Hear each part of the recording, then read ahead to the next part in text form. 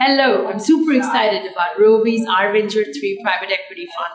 We've organized this for the third time in partnership with Roby, where startups are encouraged to solve problems of the masses, leverage technology, and create a transformative impact.